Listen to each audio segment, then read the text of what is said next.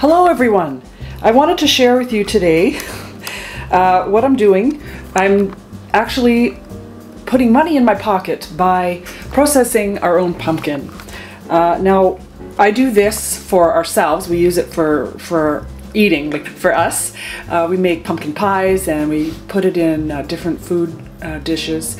But we also have pumpkin for the dogs. Now, um, Pumpkin seeds are extremely good for uh, worms. They do wonders for worms to prevent and to get rid of. So I save pumpkin seeds. Uh, these are our own pumpkins from our own garden and uh, you don't need a huge space for them because we grew in a very small area and we got 45 pumpkins.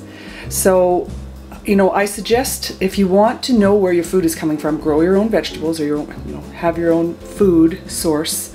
Uh, the pumpkins that we grow, we I cut them up like this, and then I put them um, on a baking sheet like this, and I cook them, and then take the peels off or the skins off after they're cooked and puree this.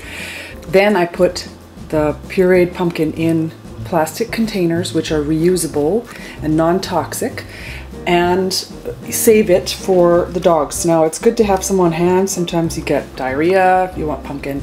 It's better to have your own pumpkin than to buy from a store for two reasons. You don't spend the money.